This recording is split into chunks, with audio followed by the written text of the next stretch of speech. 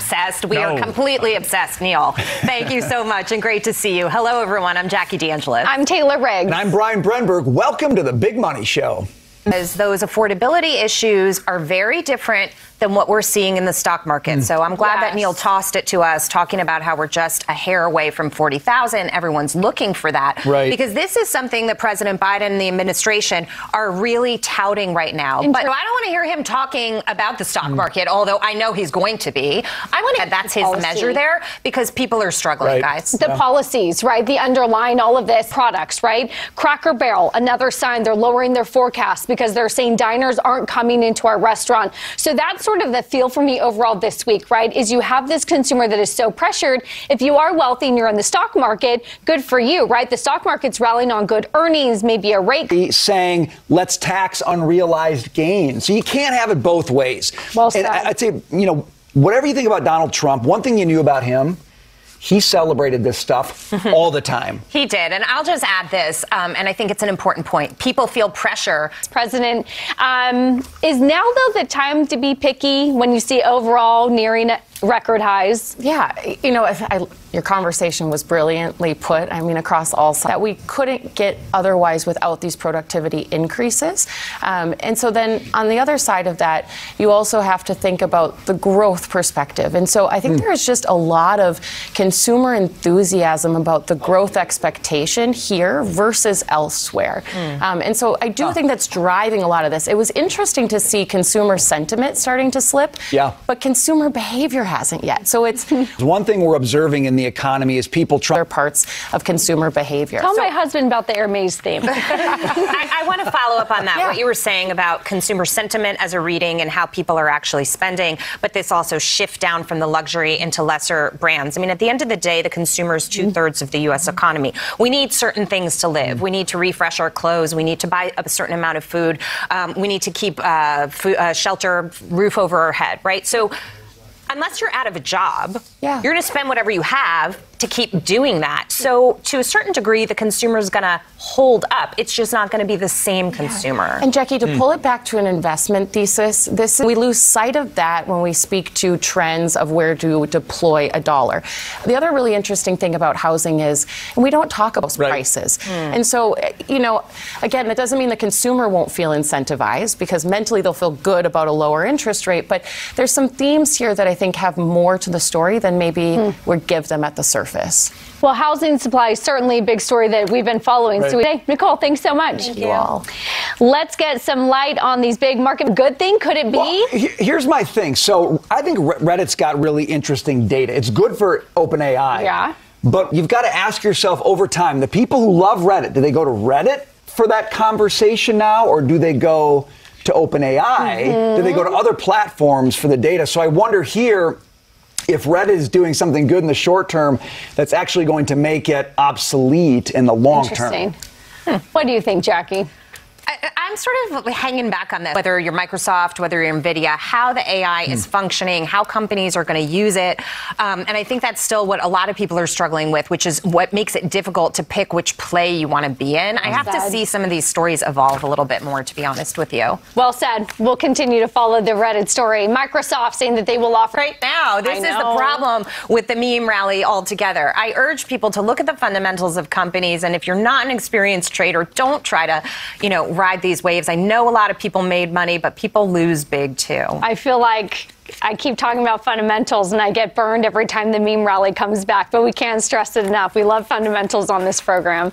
Let's talk about a key Boeing supplier. Counting. Meantime, a lot of people want to retire early. I'm not sure if you know more. Well, I have to tell you, there's a lot of excitement. Gerri, we're, with respect to Social Security, I wish they'd just let me keep the money. I'll invest in the S&P, and we'll call it a day. I'll, I'll then it'll definitely be there. I'm on your page, girl. Gerri Willis, Yes. thank you so much for that. And this just to survive, so they'll spend all their disposable income on that, and they're not saving. We're going to have trouble when they hit that age. And if security, uh, mm-hmm. Social Security isn't there Yeah. to grab them as a safety net as it's supposed to, then they're going to be in more trouble. So you're not going to see the damage that has been done in the last three years, mm. four years by the time he's done for another decade to come. One is I like the guy who said I like to work, mm-hmm. retire early. Mm-hmm. I think that's good, but you just have to know that to do that, it's on you. Right? It's not on the government. It's not on anybody else. But you put that aspiration together with liking to work. That's good. That's amazing. I like the aspiration wanting to retire early, but a lot of like 67 year old people working, and it's because they love you. You, if they wanted to retire, they probably could. Mm-hmm. Probably. And so there's Right. something about knowing that you can and that you have that freedom, but wanting to do it for different reasons Yeah. versus feeling like you're running on a hamster wheel and you're getting older and you're tired. yeah. Get off the hamster wheel. Get on something a little bit better. All right, the federal government is trying to force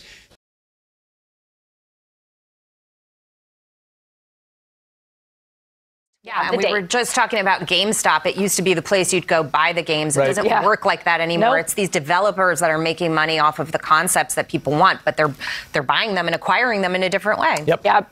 All right, eight TikTokers are today. Thank you so much for laying that out to really get at the heart of the matter for you. Good stuff. Appreciate it.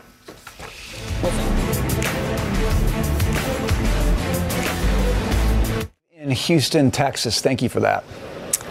Happen though is after the 4th of July, they will slowly, slowly start to come down. So people who are going to hang on gas prices where they are now or where they're going to be by July 4th Mm. as an election issue are going to see the tide potentially turn just for seasonality, barring any kind of a geopolitical conflict or, or another issue when it comes to, to oil prices. So we'll see how it all shakes out. And we'd heard from the airlines they're even looking at peak uh, record demand. Obviously, jet fuel different from gas at the pump, but sort of that overall summer demand really starting to heat You up. You guys are so- depressing me on a Friday. I want cheap travel. Is there any hope for any cheap travel in I America? don't think it was anyway, if I walk, is it cheap if I walk, or is that expensive too? Okay, I guess I got to walk. Walking is free. All right.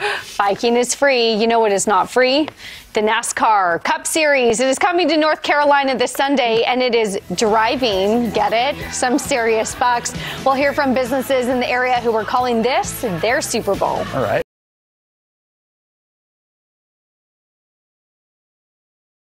Madison, I would hold off on that moonshine until the end of the day, but Yeah.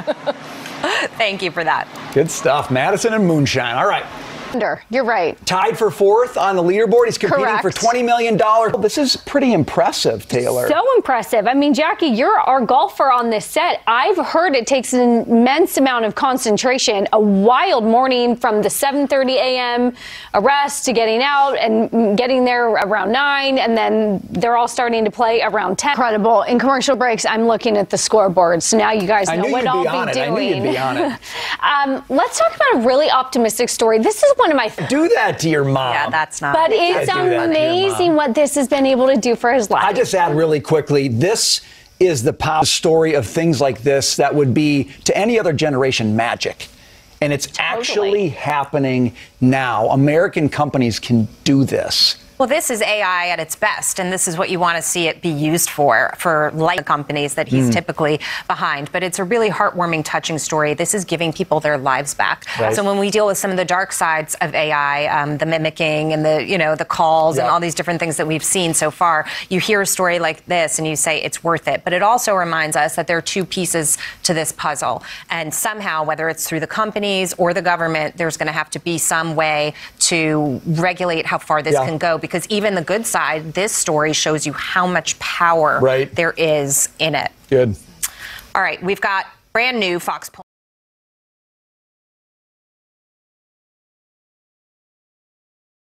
Hours, more time, more money. More taxpayer dollars. There's Yeah. the story. Grady Trimble, good to see you. Thanks for being with us. All right, it's like medicine because, you know, you kind of need your doctors to be good at what they do, not sensitive to the political winds of the moment. Congressman, Amen. we got to leave it there. Thanks for being with us. All right, guys. Great. Have a great weekend. 5% Wow. nationwide. It is pretty incredible. And I think, Brian, you've talked a lot on this program about regulation. I Mm. wanted to get your thoughts on this. States that have the highest price of childcare as a percent of median income. Right. It's California, New York, Oregon, Washington, Massachusetts, and Vermont. I'm seeing a lot of coastal blue states, and I don't know what to make of it. Well, and they're telling you things like how many caregivers will provide that service, and they're going to charge a higher fee. Look, if you want to really expand this market, you've got to let parents do more of that work and have less of the government telling every single caregiver hmm. what they got to do for your kid. But the government likes to tell everybody what they have to do for themselves and their children. The biggest problem that I have with this here is by design at the southern border is to bring more people in and, and create a shift in our actual population that you will see play out over time. Well, there's been a lot of studies about globally birth rates are only having one or two instead of maybe three or four if you're fiscally responsible because you're looking at these costs and saying, I can't am do, gonna do it. You, you know what this is a good argument for? Getting inflation under control. Right. Well Maybe if we did that, it would help a little bit with things, you know, like childcare. Well, let's get back to these markets. One more minute until 2 p.m. Memes.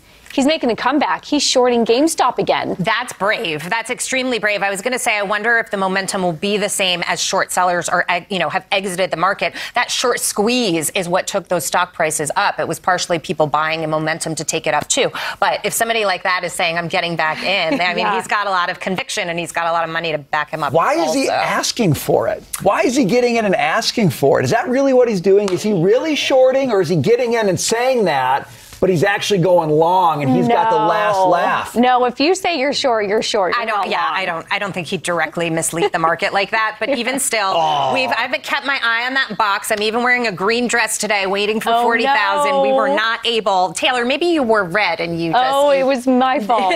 negated the effect. Um, but maybe it'll happen during Charles Payne's hour. We'll send it over. I'm with Brian on this one. I kind of believe Brian may be Yes. onto You something. think? Uh, All I can say, I don't know. I'm a conspiracy theorist by heart. Thank you. All right, see you guys.